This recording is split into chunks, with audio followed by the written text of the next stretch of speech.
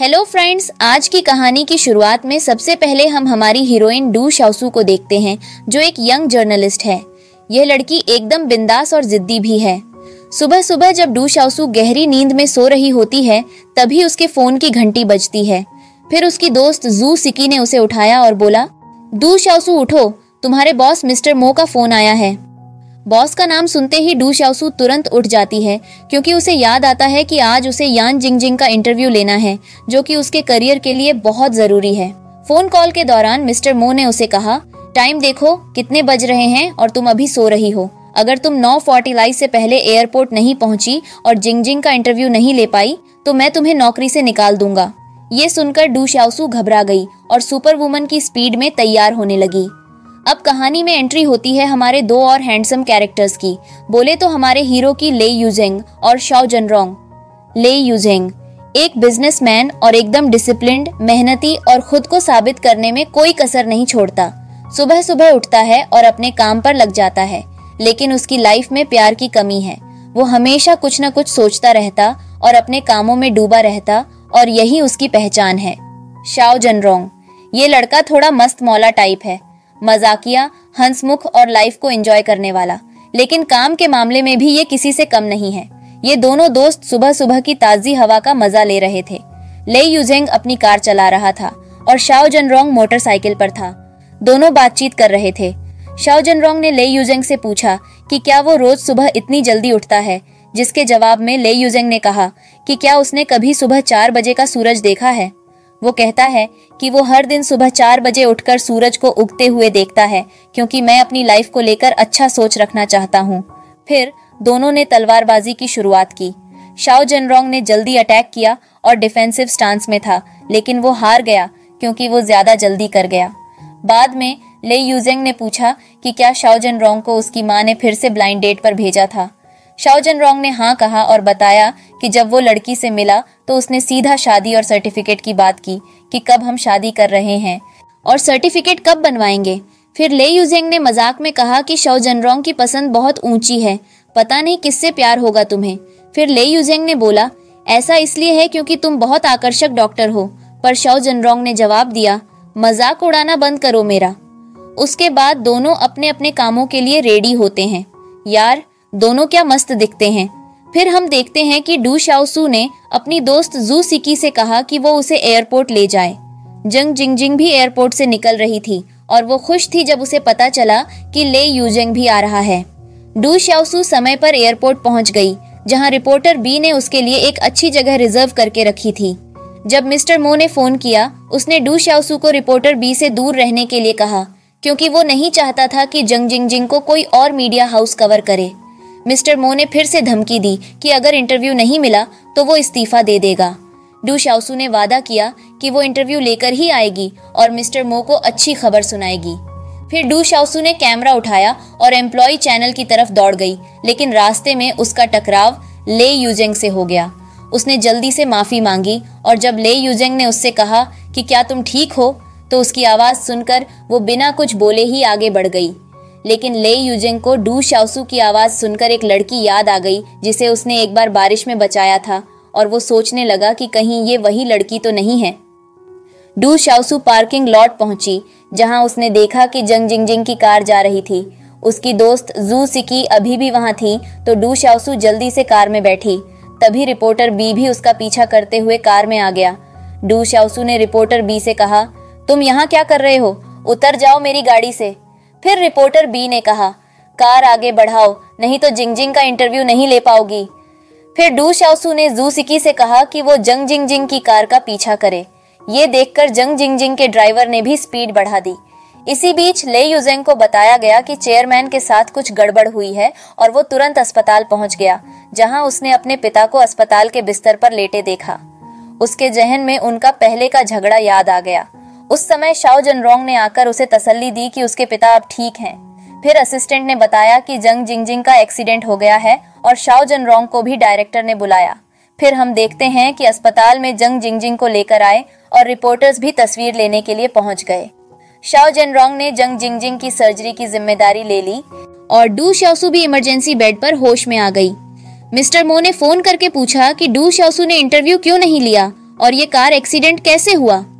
थोड़ी देर पहले डू शाओसू ने जंग जिंग जिंग की कार का पीछा किया था, जिसकी वजह से इनडायरेक्टली एक्सीडेंट हुआ था। मिस्टर मो गुस्से में फ़ोन रख देता है और उससे कहता है कि वो जंग जिंग जिंग का इंटरव्यू लेकर आए। बोर्ड ऑफ़ डायरेक्टर्स भी चिंतित थे, क्योंकि जंग जिंग जिंग के एक्सीडेंट की वजह से मॉन्स्टर स्लेयर मूवी की शूटिंग डिले हो गई थी। ले यूजेंग समय पर पहुँच गया और बताया कि वो यूतियन के सभी कामों की ज़िम्मेदारी लेगा और कहा कि मूवी मॉन्स्टर स्लेयर ज़रूर बनेगी। लेकिन हीरोइन को बदलना पड़ेगा। मिस्टर जी ने इस फैसले से असहमति जताई, लेकिन ले यूजेंग ने उसे एक फ़ाइल दी। फ़ाइल देखते ही मिस्टर जी ने रिजाइन कर दिया और ले यूजेंग ने उसका रिजाइन स्वीकार कर लिया। ले यूजेंग ने यह तय किया कि वो अपने पिता के बिज़नेस यूतियन को संभालेगा और आगे बढ़ाएगा। डू चाउसू एक नूडल शॉप गई और देखा कि सामने शाओ जनरोंग नूडल्स खा रहा था। उसे देखकर उसने भी वही ऑर्डर किया। क्योंकि वो नूडल्स देखकर उसके मुँह में पानी आ रहा था। शाओ जनरोंग ने भी डू शाओसू को देखा और उसके बिखरे हुए चेहरे को देखकर थोड़ा हैरान हो गया। मिस्टर मो लगातार डू शाओसू को जंग जिंग जिंग का इंटरव्यू लेने के लिए प्रेशराइज कर रहा था। डू शाओसू ने दो बाउल नूडल्स ऑन ऑर्डर किए, लेकिन उसने थोड़ा सा खाकर ही नूडल्स छोड़ दिए। वो वापस चल पड़ी और रास्ते में उसे अपना फ़ोन नहीं मिला। वो इसे शॉप में ही भूल आई थी। फिर जैसे ही वो वापस मुड़ने लगी, उसकी टकराव शाओ जनरोंग से हो गई। शाओ जनरोंग ने उसका फ़ोन वापस करने के लिए दिया। फिर कुछ कदम चलने के बाद एक गाड़ी ने डू शाओसू को टक्कर मारने की कोशिश की, लेकिन शाओ जनरोंग ने उसे बचा लिया। दोनों ने एक दूसरे की आँखों में देखा और शाओ जनरोंग ने कहा कि डू शाओसू का अपना ध्यान रखना चाहिए। उधर अस्पताल में रिपोर्टर्स मौका देखकर तस्वीर लेने का इंतज़ार कर रहे थे। रिपोर्टर बी ने अपने सहयोगियों को गुमराह किया कि इंस्पेक्टर आ गया है और फिर उसने डू श्यासू को बताया कि जंग जिंगजिंग आईसीयू में नहीं है, उसे तीसरी मंजिल पर शिफ्ट किया गया है। डू श्यासू को शक हुआ कि रिपोर्टर बी का इरादा ठीक नहीं है। रिपोर्टर बी ने कहा कि वो उसकी मदद करने आया है। ले यूजेंग ने स्लैशिंग मॉन्स्टर्स फ़िल्म के लिए नई हीरोइन की तलाश शुरू कर दी। उसने अपनी एक्स गर्लफ्रेंड को शू यू कांटेक्ट करने के लिए बोला, जो उससे मिलना चाहती थी। ले यूजेंग ने इस बात को मंजूर कर लिया। कंपेटिटर कंपनी को ले यूजेंग के हीरोइन बदलने के बारे में पता चला और उन्होंने युतियन को एक मुश्किल प्रोजेक्ट देने का फैसला किया ताकि वे उन्हें मुसीबत में डाल सकें। डू शाओसू ने जंग जिंगजिंग के वार्ड में घुसने की कोशिश नहीं छोड़ी। वह तीसरे मंजिल पर चढ़कर खिड़की से तस्वीर लेने लगी। तभी शाओ जनरोंग वहाँ आया और तस्वीर उसकी खींची गई। डू शाओसू ने उसे देखा और सोचा कि वह पहले से भी ज़्यादा हैंडसम लग रहा है। एक पल के लिए वह खो गई थी। शाओ जनरोंग ने उसे देखा और जब वह गिरने वाली थी तो उसने उसे बचा लिया। जब शाओ जनरोंग ने डू शाओसू को खिड़की से बचाया, तब दोनों एक दूसरे पर गिर गए। फिर शाओ जनरोंग ने पूछा, तुम यहाँ क्या कर रही हो? जल्दी मेरे ऊपर से उतरो। डू शाओसू उसके ऊपर गिर गई थी और फिर वह जल्दी से उठकर शाओ जनरोंग के ऊपर बैठ गई। ये देख एक नर्स, जो वहीं पास में थी, गलत फहमी में पड़ गई कि ये लोग क्या कर रहे हैं, और उदास होकर वहाँ से चली गई। शाओ जनरोंग को लगा कि डू शाओसू की नीयत ठीक नहीं है तो उसने उसे सवाल करना शुरू किया कि वह कौन है और वहाँ क्या कर रही है। डू शाओसू ने अपना सच बताया कि वह एक रिपोर्टर है जो जंग जिंगजिंग का इंटरव्यू लेना चाहती है। उसने शाओ जनरोंग से दया की भीख मांगी और कहा कि वह सिर्फ़ एक तस्वीर लेना चाहती है, लेकिन शाओ जनरोंग ने मना कर दिया और कहे कि वह मरीज़ की प्राइवेसी को तोड़ नहीं सकता। ड्यू शाओसू ने शाओ जनरोंग को धमकाया कि अगर उसने उसे शूट करने नहीं दिया, वह वह किसी तरीके से उसे फंसाएगी। ड्यू शाओसू ने इस बार अपना प्लान बदला और शाओ जनरोंग को समझाने लगी कि उसे सिर्फ़ एक तस्वीर लेनी है और वह जल्द ही वापस चली जाएगी। शाओ जनरोंग ने उसे एक मौका दिया, लेकिन उसने उसे सख्ती से देखा और निगरानी की। डू शाओसू एक बड़े दिलचस्पी के साथ शाओ जनरोंग के पास जाती है और एक तरह से उसे वार्निंग देने की कोशिश करती है कि अगर उसने उसकी बात नहीं मानी तो उसकी रेपुटेशन को नुकसान पहुँच सकता है। वो बोलती है, मैं सबको बता दूँगी कि तुम मेरे बॉयफ्रेंड हो, लेकिन शाओ जनरोंग उसकी एक बात भी नहीं मानी और मजबूर होकर डू शाओसू को पीछे हटना पड़ता है। यहाँ शाओ जन रोंग और ले यूजेंग के बीच फेंसिंग का मुकाबला होता है, जो कि पाँच मिनट का होता है। हालाँकि, दोनों यह मुकाबला हार जाते हैं। मुकाबले के बाद ले यूजेंग शाओ जन रोंग को कहता है कि जंग जिंगजिंग की चोट का सबसे अच्छा इलाज होना चाहिए और वह इसका खर्चा खुद उठाएगा। फ़िल्म की शूटिंग शुरू होने वाली है और कंपनी के शेयर होल्डर इस पर ध्यान दे रहे हैं। इसलिए ले यूजेंग हीरोइन को बदलने का फैसला करता है और शाओ जनरोंग बोलता है कि, भाई, ये तो बहुत रिस्की है, लेकिन फिर भी मैं तुम्हारे साथ हूँ। अगले दिन डू शाओसू अस्पताल में शाओ जनरोंग के लिए कॉफ़ी लेकर आती है। वह उसके लिए कई तरह के फ्लेवर की कॉफ़ी लाती है और शाओजन रोंग उसे मना नहीं कर पाता। उसके आसपास के लोग भी इस बात से जलन महसूस करते हैं। हालाँकि, डू शाओसू बाहर से दिखाती है कि वह सिर्फ़ उसकी जान बचाने के लिए शुक्रिया अदा कर रही है, इसीलिए उसके लिए कॉफ़ी लेकर आई है, लेकिन यह सब वह जंग जिंग जिंग के काम के लिए कर रही होती है। लेकिन शाओ जनरोंग उसका ऑफ़र ठुकरा देता है। उसके साथ ही मज़ाक में शाओ जनरोंग और डू शाओसू के रिश्ते के बारे में बात करने लगते हैं। बोलते हैं कि शाओ जनरोंग तुम्हारी गर्लफ्रेंड क्यूट है, डू शाओसू भी दिखावे में उनके साथ प्यार से पेश आती है और बाकी की कॉफ़ी सबको बांटकर वहाँ से चली जाती है। फैनलू ले यूजेंग से मिलने आती है। ले यूजेंग उसे कहता है कि वह काम खत्म होने के बाद उसके साथ समय बिताएगा। ले यूजेंग जानबूझकर अपने काम में लगा रहता है, जिससे फैनलू इंतज़ार करते करते थक जाती है और ले यूजेंग से कहती है कि वे पहले अपना काम पूरा कर ले। फैनलू के इस रिएक्शन से ले यूजेंग अंदर ही अंदर खुश होता है और तुरंत अपने असिस्टेंट को फैनलू को विदा करने के लिए कहता है और बोलता है कि आज मुझे बहुत काम है नेक्स्ट टाइम मिलते हैं। ले यूजेंग और शाओ जनरोंग कार में एक साथ सफ़र करते हुए बात करते हैं। शाओ जनरोंग कहता है कि डू शाओसू बहुत खुश लग रही थी। ले यूजेंग पहले ही समझ चुका था कि शाओ जनरोंग डू शाओसू से प्यार करने लगा है। शाओ जनरोंग इस बात से काफ़ी घबराया हुआ है और उसने यह बात पूरी तरह से नकार दी और बोलता है, नहीं भाई, ऐसा नहीं है। हम बस अभी अभी मिले हैं। इस पर ले यूजेंग कहता है कि वह लड़की बहुत खुशकिस्मत है। वह ये भी कहता है कि अगर वह लड़की अच्छी नहीं हुई तो मैं तुमको नहीं करने दूँगा। डू श्यासू अस्पताल की कैफेटेरिया में बैठी हुई है और नसों के साथ हँसी मज़ाक कर रही है, जिससे नसें बहुत खुश हो जाती हैं। इसी बीच शाओ जनरोंग कैफेटेरिया में डिनर करने आता है। जैसे ही डू शाओसू उसे देखती है, वह पहल करते हुए उसे हेलो कहती है। शाओ जनरोंग थोड़ा झिझकता है और वहाँ से जाने की सोचता है। लेकिन डू शाओसू हँसते हुए कहती है कि उसे सबसे ज़्यादा खुशी तब होती है जब वह हैंडसम लड़कों को देखती है, प्रेसिडेंट मो का फ़ोन आता है और वह डू शाओसू को बताता है कि फ़िल्म की हीरोइन को बदलने का फैसला किया गया है। वह डू शाओसू से कहता है कि वह जंग जिंग जिंग से संपर्क करे और उसका इंटरव्यू लेकर सच जानने की कोशिश करे, इसी दौरान नर्से हड़बड़ी में बाहर की तरफ़ भागती है। उन्हें पता चलता है कि एक बस का एक्सीडेंट हो गया है, जिसमें कई बच्चे घायल हो गए हैं। शाओ जनरोंग एक बच्ची की जाँच करता है। जिसे आंतरिक चोटें आई हैं और जिसे R H negative A B blood की ज़रूरत है।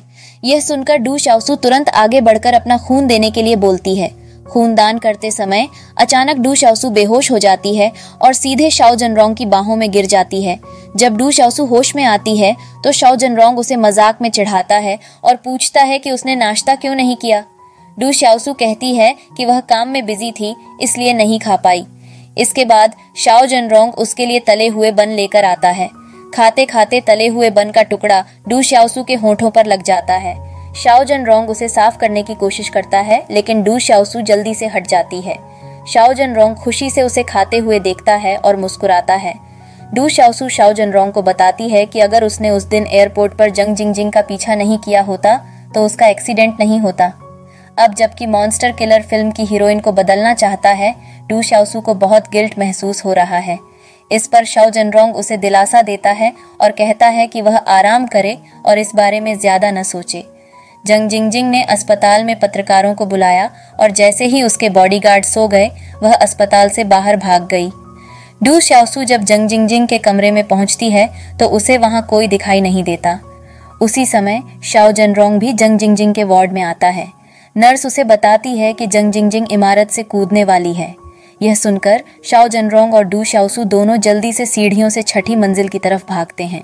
जैसे ही वे छठी मंजिल पर पहुँचते हैं, वे देखते हैं कि फायर ट्रक और पब्लिक सिक्योरिटी ब्यूरो भी पहुँच चुके हैं।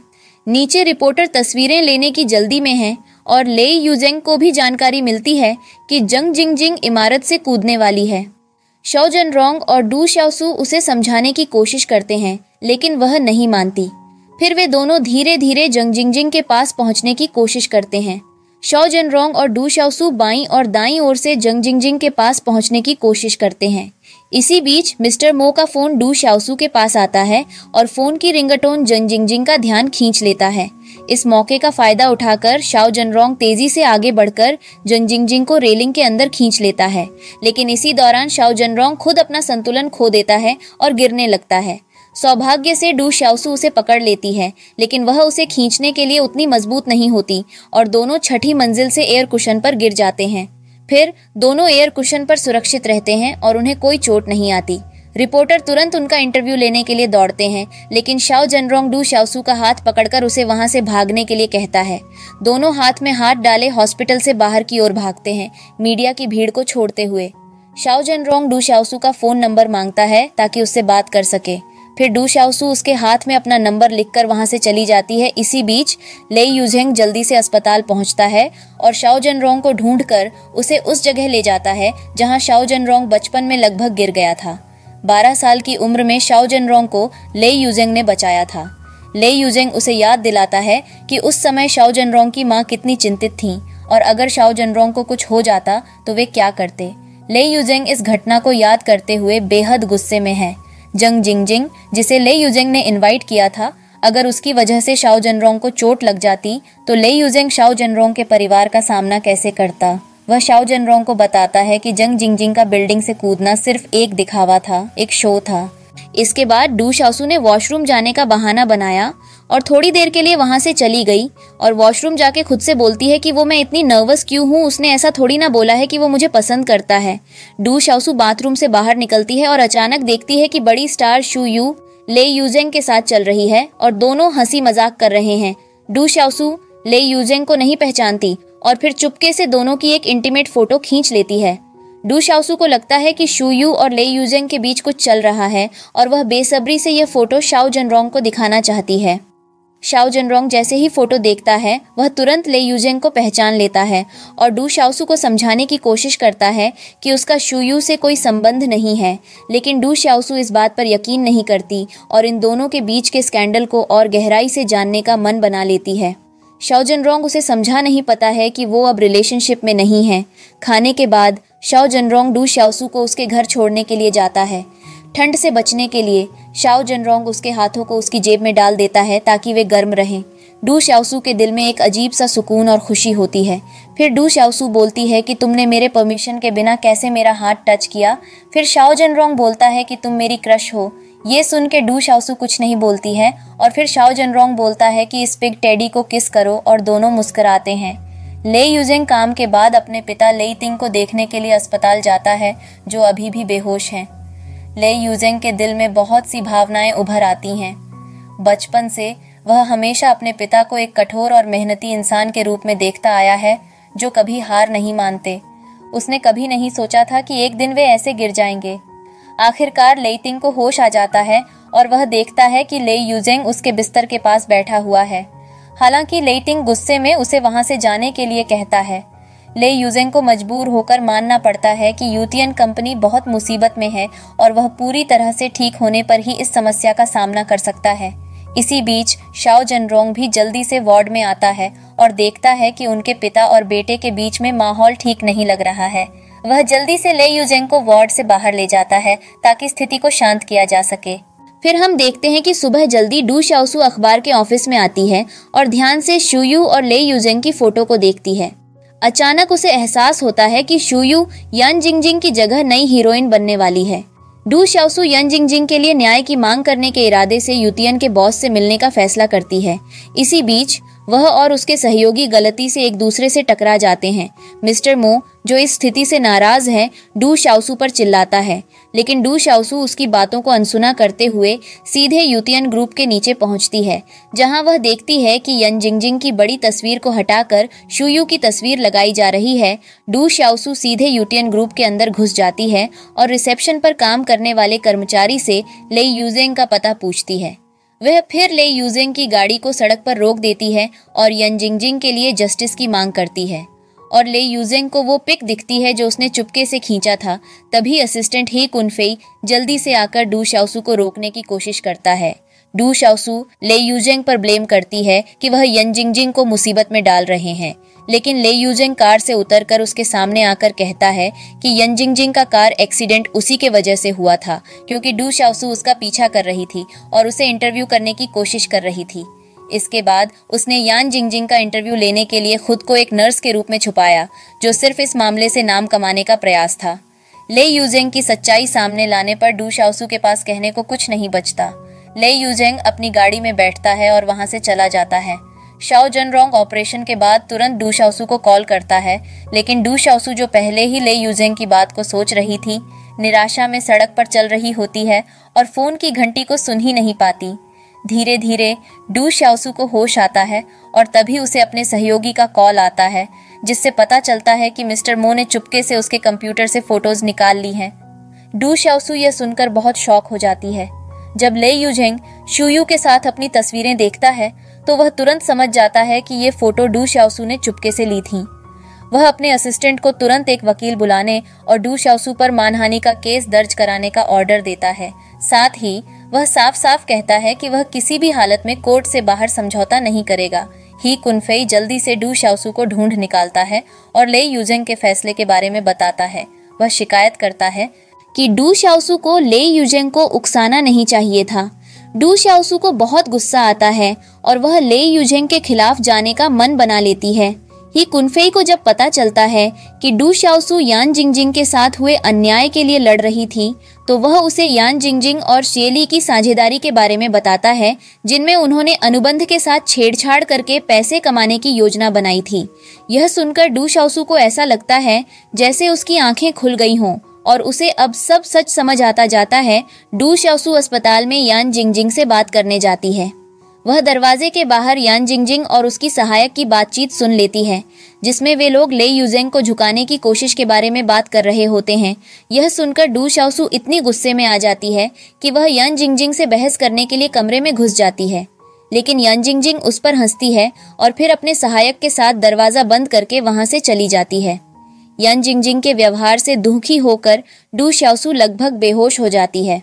सौभाग्य से शौजन रोंग समय पर आकर उसे गले लगाता है और उसे सहारा देता है।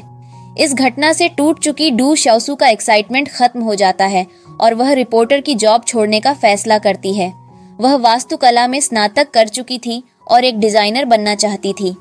शाओजन रोंग उसे बॉयवन में नौकरी अप्लाई करने के लिए बोलता है, लेकिन डू शाओसू सोचती है कि वह इसे कर पाएगी। अगली सुबह, डू शाओसू एक इस्तीफा रिपोर्ट लेकर प्रेसिडेंट मो के पास जाती है। प्रेसिडेंट मो उसे रोकने की कोशिश करता है, लेकिन डू शाओसू का मन पहले ही बन चुका होता है और वह ऑफ़िस छोड़ने का पक्का फैसला कर चुकी होती है। डू शाओसू सड़क के किनारे एक जगह पर खड़ी होती है, जहाँ वह ले यूजेंग का इंतज़ार कर रही है। उसने पिछले कुछ दिनों में बहुत कुछ झेला है और अब उसे एहसास हुआ है कि उसने ले यूजेंग को गलत समझा।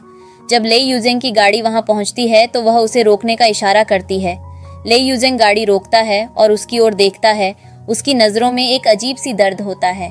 डू शाओसू धीमे कदमों से उसकी गाड़ी के पास आती है और हल्की सी घबराहट के साथ माफ़ी मांगती है। मैंने आपसे पहले बिना पूरी जानकारी के एक गलत फहमी पाल ली थी। मुझे इसके लिए माफ़ कर दीजिए। ले यूजेंग उसकी बात सुनते हुए अपने चेहरे पर कोई भाव नहीं लाता। उसे लगता है कि शायद डू श्यासू मुकदमे से डर गई है, इसलिए माफ़ी मांग रही है। वह उससे ठंडे स्वर में कहता है, क्या तुम इस डर से माफ़ी मांग रही हो कि मैंने तुम्हारे खिलाफ कानूनी कार्रवाई करने का फैसला किया है? दू श्यासू थोड़ा घबराई हुई होती है, लेकिन अपने आप को संभालते हुए कहती है, नहीं, मैं इस बात से परेशान थी कि यन जिंग जिंग ने मुझे बहका दिया था। मैंने सोचा था कि आप उसके साथ गलत कर रहे हैं, लेकिन अब मुझे समझ आ गया है कि असल में सच कुछ और था। ले यूजेंग उसके चेहरे पर गहरी नज़र डालता है, लेकिन उसकी बातों में कोई दिलचस्पी नहीं दिखाता। वह एक पल के लिए चुप रहता है, फिर उसकी ओर देखते हुए गाड़ी का दरवाज़ा बंद कर लेता है और बिना कोई जवाब दिए वहाँ से निकल जाता है। डू शाओसू उसके इस व्यवहार से निराश होती है और वहीं खड़ी रह जाती है, अपने दिल में भारीपन महसूस करती है और बहुत दुखी हो जाती है शाओ जन रोंग। डू शाओसू के बारे में बहुत चिंता करता है। वह जानता है कि डू शाओसू में डिज़ाइनिंग के प्रति गहरा जुनून है और वह उसे एक नई शुरुआत देने की कोशिश करता है। वह बॉयवन कंपनी, जो यूतियन की सहायक कंपनी है, के लिए उसके रिज्यूमे के साथ ले यूजेंग के कार्यालय में पहुँचता है।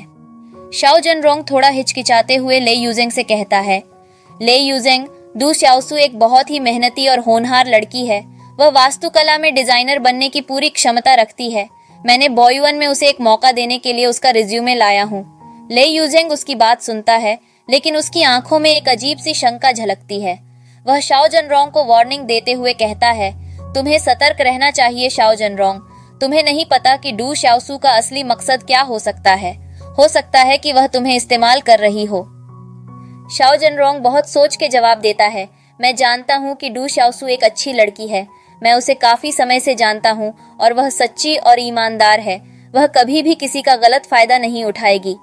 ले यूजेंग उसकी बातों से पूरी तरह सहमत नहीं होता, लेकिन वह शाओ जनरोंग की बात मान लेता है, और वह बिना इच्छा ही बॉयवन के निंग को डू शाओसू का रिज्यूमे भेजने के लिए तैयार हो जाता है। बॉयवन कंपनी के CEO mister Ning Du Xiaosu के रिज्यूमे और डिज़ाइन ड्राफ्ट को देखकर खुश हो जाते हैं। उन्हें डू शाउसू का डिज़ाइन उनको बहुत पसंद आता है, जिससे वह उसकी काबिलियत पर भरोसा करने लगते हैं। डू शाओसू बॉयवन कंपनी में नर्वस होकर अंदर करती है। वह मिस्टर निंग के सामने खड़ी होती है, जो उससे कुछ सवाल पूछते हैं और उसके डिज़ाइन ड्राफ्ट को ध्यान से देखते हैं। मिस्टर निंग उसे देखते हुए कहते हैं, तुम्हारे डिज़ाइन में कुछ खास बात है, लेकिन अभी हम तुम्हें केवल इंटर्नशिप की पोजीशन दे सकते हैं। आगे बढ़ने के लिए तुम्हें बहुत मेहनत करनी होगी। दू शाओसू मिस्टर निंग की बात से बेहद खुश होती है। उसे अब इस बात की परवाह नहीं होती कि यह सिर्फ़ एक इंटर्नशिप है। वह अपनी खुशी को छुपा नहीं पाती और खुशी से जवाब देती है। मुझे यह मौका देने के लिए धन्यवाद, सर। मैं पूरी मेहनत के साथ इस काम को करूँगी। इस बीच, जांग फनलू यूतियन के कार्यालय में ले यूजंग से मिलने आती है। लेकिन रास्ते में उसे रोका जाता है, जिसकी वजह से उसकी आँखों में गुस्सा और नाराज़गी झलकती है, लेकिन वह अपने गुस्से को छुपाते हुए भोली बनने की कोशिश करती है। लिन चंगयुअन जांग फनलू को देखा और उसे देखकर मुस्कुराता है और उसे विनम्रता से ऊपर आने का इनविटेशन देता ले यूजेंग को जियांग जिन ने गोल्फ कोर्स पर मिलने के लिए बुलाया था। वहाँ जियांग जिन ने ले यूजेंग को एक प्रोजेक्ट के बारे में बताया, जिसे वो बाहरी व्यक्ति को नहीं देना चाहते थे। उन्होंने बताया कि उन्होंने इस बारे में लेई टिंग से भी बात की है और लेई यूजेंग को यह प्रोजेक्ट पूरा करना होगा। वहीं दूसरी ओर लाइन शंगयुआन बाथरूम में गया जहाँ उसकी मुलाकात लाइन कियोंग से हुई, जो एक सफ़ाई कर्मी था। लिन कियोंग ने उसे पहचान लिया और बात करने की कोशिश की, लेकिन लिन शंग युआन ने उसे पहचानने से इनकार कर दिया और बात को टाल दिया। ले यूजेंग ने यह सब बातचीत सुन ली। दूसरी तरफ़, दू शाओसू अपने पहले दिन काम पर गई, लेकिन उसे कोई खास काम नहीं मिला। उसने अपने सहकर्मियों की मदद की और कॉफ़ी खरीदी। काम के बाद जब वह घर जा रही थी तो उसने देखा कि शाओ जेनरोंग नीचे उसका इंतज़ार कर रहा था। शाओ जेनरोंग ने उसे अपने दोस्तों से मिलाने के लिए बुलाया। मिलने के दौरान, शाओ जेनरोंग ने ले यूजेंग की फ़ोटो दिखाई, जिससे डू शाओसू चौंक गई। ले यूजेंग भी वहाँ पहुँचा और डू शाओसू के सामने नाटक किया कि वह उसे नहीं जानता। डू शाओसू को यह जानकर आश्चर्य हुआ कि ले यूजेंग उसका बॉस है। ले यूजेंग ने डू शाओसू को सलाह दी कि वह शाओ जेनरोंग का ख्याल रखे। डू शाओसू ने सोचा कि वह इस्तीफा दे देगी, क्योंकि वह शाओ जेनरोंग के साथ अपने रिश्ते को लेकर चिंतित थी। लेकिन शाओ जेनरोंग ने उसे समझा लिया और डू शाओसू ने अपनी योजना बदल दी।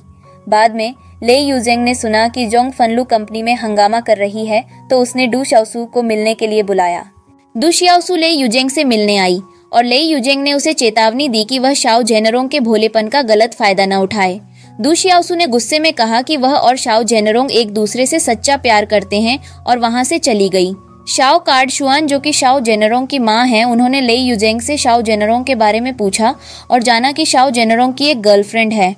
उसने शाओ जेनरोंग से अपनी गर्लफ्रेंड को घर लाने के लिए कहा। शाओ जेनरोंग ने दुशियासु को अपनी माँ से मिलाने का फैसला किया।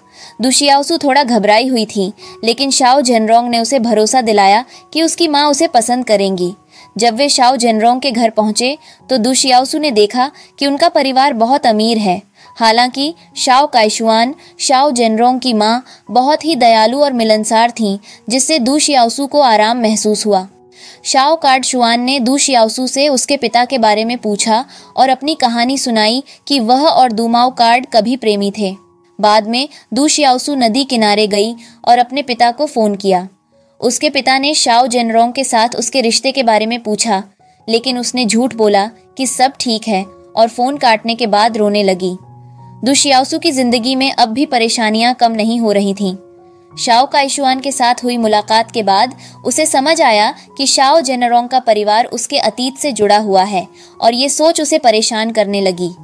उधर, ले यूजेंग ने अपने काम के सिलसिले में कुछ नए फैसले लिए। उसने लिन शियांग युआन को एक ज़मीन पर ले जाकर दिखाया, जिसे वो लोग डेवलप करना चाहते थे। लेकिन वहाँ पहुंचकर ले यूजेंग ने देखा कि ज़मीन पर खून के निशान हैं और बताया कि उनके पास इस प्रोजेक्ट के लिए सरकारी मंजूरी भी नहीं है, यह बस एक धोखा है। लेकिन लिन शियांग युआन इस प्रोजेक्ट को लेई टिंग के लिए एक बड़ा नाम बनाने का मौका मान रहा था। लेई यूजेंग ने उसकी बातों से सहमति नहीं जताई और सोच में पड़ गया कि आगे क्या करना चाहिए।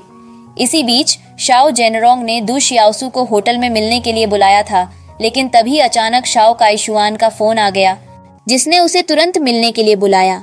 शाओ काइशुआन ने दुशियाओसू से कहा कि वह इस मुलाकात के बारे में किसी को न बताए। जब वे मिले तो शाओ काइशुआन ने दुशियाओसू से उसके पिता दुमाओकाई के बारे में पूछा और बताया कि वह और दुमाओकाई एक समय एक दूसरे से प्यार करते थे।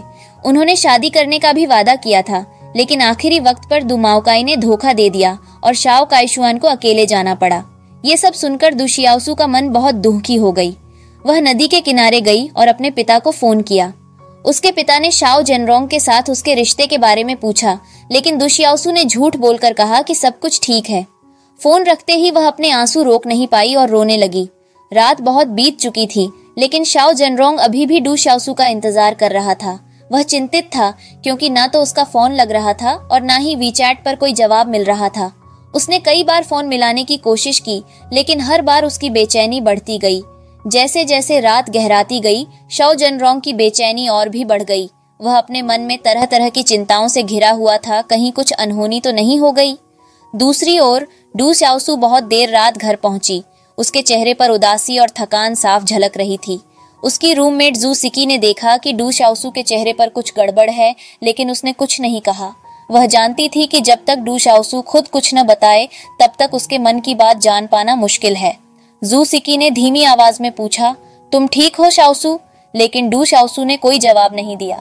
वह सीधे अपने कमरे में गई और दरवाज़ा बंद कर लिया। दरवाजे के बाहर जू सिकी चिंता में खड़ी रही, लेकिन उसने सोचा कि शायद समय देने से डू शाओसू खुद बात करेगी। वहीं शौजन रोंग, जो डू शाओसू के घर के नीचे खड़ा था, बेहद चिंतित था। उसने जू सिकी को कॉल किया और पूछा कि क्या डू शाओसू घर पर है? जू सिकी ने कहा कि वो सो चुकी है लेकिन उसने महसूस किया कि कुछ तो गड़बड़ है। शाओ जनरोंग को यह बात समझ नहीं आई। उसने खुद देखा था कि डू शाओसू के मन में कुछ बड़ा चल रहा है। उसके मन में एक अजीब सी बेचैनी थी, जैसे कोई बड़ा संकट आने वाला हो। सुबह होते ही शाओ जनरोंग जल्दी उठ गया और सीधे डू शाओसू के कंपनी के नीचे पहुँच गया। वह जानता था कि अगर उसे जवाब चाहिए तो उसे खुद उससे बात करनी होगी। जैसे ही डू शाओसू कंपनी के दरवाजे से बाहर निकली, शाओ जनरोंग ने उसे रोका। वह उसकी आँखों में सीधा देख रहा था। उसकी आँखों में उम्मीद और चिंता दोनों झलक रही थी। तुम कल रात क्यों नहीं आई? उसने पूछा। डू शाओसू ने उसकी ओर देखा, लेकिन उसकी आँखों में कोई जवाब नहीं था। वह कुछ पल के लिए चुप रही और फिर बोली, मैं नहीं आ पाई। वह जानती थी कि इससे उसकी चिंता कम नहीं होगी, लेकिन उसने उसे ज़्यादा कुछ नहीं बताया। शाओ जन रोंग ने उसकी चुप्पी को समझने की कोशिश की। उसने धीरे से उसका हाथ पकड़ा और कहा हम इस तरह नहीं छोड़ सकते श्यासू चलो, कहीं बैठकर बात करते हैं। वह उसे ज़बरदस्ती कार में खींचकर बैठा दिया। उसी समय, ले यूजेंग अपनी कार से वहाँ से गुजर रहा था। उसने शाओ जनरोंग और डू शाओसू को कार में बैठते देखा, लेकिन उसे समझ नहीं आया कि क्या हो रहा है।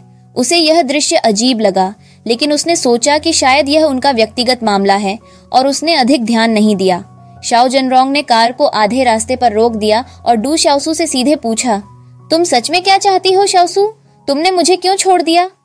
डू शाओसू उसकी आँखों में सीधा नहीं देख पाई।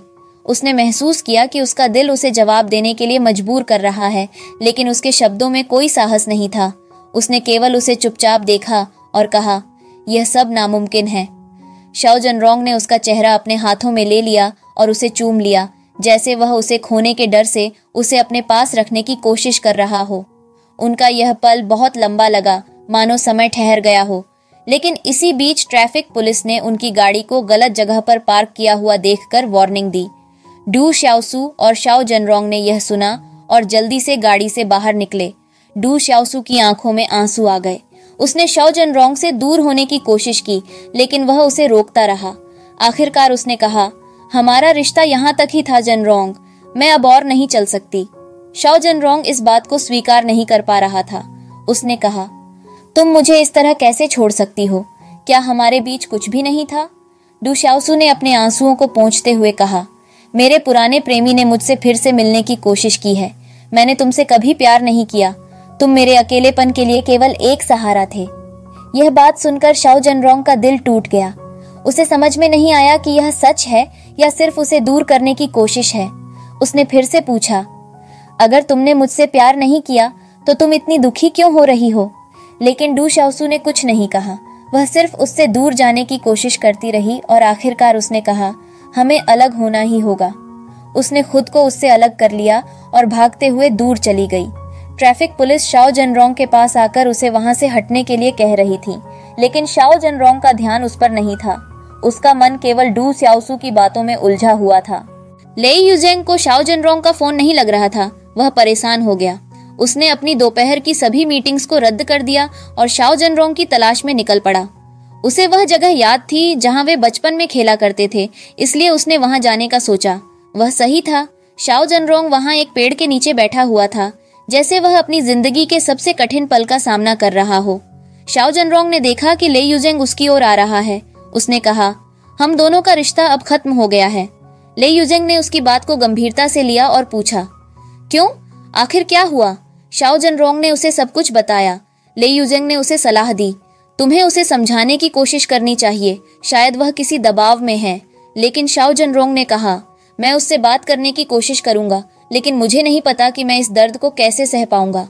उसने फिर से तय किया कि वह यूनान में फ्री क्लिनिक के लिए जाएगा। शायद वहाँ जाकर उसे कुछ सुकून मिल सके। वहीं शाओ काइशुआन जो शाओ जनरोंग का पिता था, ने सुना कि उसके बेटे और डू शाओसू के बीच कुछ अनबन हो गई है। उसने अपने बेटे को समझाने की कोशिश की कि अगर यह रिश्ता उसे खुश नहीं कर रहा तो उसे इसे छोड़ देना चाहिए। लेकिन शाओ जनरोंग ने कहा कि वह अभी भी डू शाओसू से प्यार करता है और उसे छोड़ना इतना आसान नहीं है। ले यूजेंग ने डू शाओसू को गोल्फ कोर्स पर बुलाया और ज़बरदस्ती उससे पूछा, तुमने शाओ जनरोंग से रिश्ता क्यों तोड़ा? क्या तुम्हें अब उससे प्यार नहीं है? डू शाओसू ने कहा, यह सब मेरे लिए बहुत मुश्किल है, मैं अब उससे प्यार नहीं करती। ले यूजेंग को इस बात पर गुस्सा आ गया। उसने कहा, तुमने उसे किसी और अमीर आदमी के लिए छोड़ दिया, है ना? तुम जैसे लोग प्यार के काबिल नहीं होते। दू शाओसू ने कहा, तुम जो चाहो समझो, लेकिन मैंने जो किया है, उसमें मेरी मजबूरी थी। उसने यह कहते हुए अपनी नौकरी से इस्तीफा देने का निर्णय लिया। ले यूजेंग ने उसे धमकाते हुए कहा, अगर तुमने यह कंपनी छोड़ी तो तुम इस लाइन में कभी टिक नहीं पाओगी। दू शाओसू अपनी मर्ज़ी के खिलाफ हॉस्पिटल आई थी और जैसे ही उसने हॉस्पिटल का माहौल महसूस किया, उसके दिल में शाओ जनरोंग के साथ बिताए पलों की यादें ताज़ा हो गईं। वो पल पल जब वे एक दूसरे के साथ थे, जब उन्होंने साथ हँसी मज़ाक किया, जब शाओ जनरोंग ने उसकी हर मुश्किल में उसका साथ दिया, ये सब यादें उसे घेरने लगी उसकी आँखें भर आईं और वो इतनी दुखी हो गई कि शब्द भी गले में अटक गए यह सब सोचते सोचते उसने फैसला कर लिया कि अब उसे इस्तीफा देना होगा। जू सीकी उसकी करीबी दोस्त ने देखा कि डू शाओसू कितनी परेशान है। उसने उसे बोला कि वो इतनी जल्दी कोई फैसला न ले। जऊ सिकी ने उसे शाओ काइशुआन से जाकर बात करने और सच्चाई बताने के लिए कहा, ताकि शाओ जनरोंग को भी सच का पता चल सके। लेकिन डू श्याओसू का दिल कह रहा था कि वो शाओ जनरोंग को ऐसी सिचुएशन में न डाले, जहाँ वो अपने भाई और अपने प्यार के बीच में फंस जाए। इस बीच लेइटिंग अपनी चोट से उबर चुका था और घर लौट आया था। उसके भाई ले यूजेंग ने सोचा कि यूतियन छोड़ देना ही सबसे अच्छा होगा, लेकिन लेइटिंग ने साफ़ मना कर दिया। ले यूजेंग को यकीन था कि जांगजिन के प्रोजेक्ट से दूर रहना ही बेहतर होगा। लेकिन लेई तिंग को पता चला कि जांगजिन उससे मिलने आया था और उसने वादा किया था कि वो सरकार से जल्द से जल्द मंजूरी दिलवाएगा। लेइटिंग ने ले यूजेंग को उत्साहित किया कि वो इस प्रोजेक्ट को हासिल करने की कोशिश करे, ताकि वो अपने करियर में एक बड़ा नाम कमा सके। दुखी होकर डू शाओसू ने अकेले शराब पीने लगी। उसने सोचा कि शायद शराब उसकी दुख को कम कर देगी, लेकिन वो और भी ज़्यादा दुखी हो गई। उसने बहुत ज़्यादा शराब पी ली और आखिरकार सड़क के किनारे बैठकर रोने लगी। उसी वक्त ले यूजेंग वहाँ से गुजर रहा था। उसने डू शाओसू को इस हालत में देखा और उससे बोला कि वो जल्द से जल्द शाओ जनरोंग से बात करे और इस दुख से खुद को मुक्त कर ले। लेकिन डू शाओसू ने उसकी बात मानने से इनकार कर दिया, जिससे ले यूजेंग नाराज़ हो गया और उसे बेरहम कहकर कोसा। डू शाओसू ने आंसुओं में डूबी आँखों से ले यूजेंग से कहा कि उसे अकेला छोड़ दे। वो एक टैक्सी बुलाई और वहाँ से चली गई, लेकिन इस हड़बड़ी में वो अपना बैग टैक्सी में ही भूल गई। कुछ देर बाद शाओ जन रोंग को टैक्सी ड्राइवर का फ़ोन आया। ड्राइवर ने बताया कि डू शाओसू का बैग उसकी टैक्सी में रह गया है। शाओ जन रोंग तुरंत उस बैग को लेकर डू शाओसू के पास पहुँचा। जब वो उसके घर के बाहर पहुँचा तो उसने देखा कि डू शाओसू गुमसुम और उदास बैठी है। उसकी आँखों में दर्द साफ़ दिखाई दे रहा था और शाओ जनरोंग का दिल भी उसके दर्द को महसूस कर रहा था। उसने धीरे से उसके पास जाकर बैग दिया और उसके चेहरे पर छाई उदासी को महसूस किया, लेकिन उसने कुछ नहीं कहा।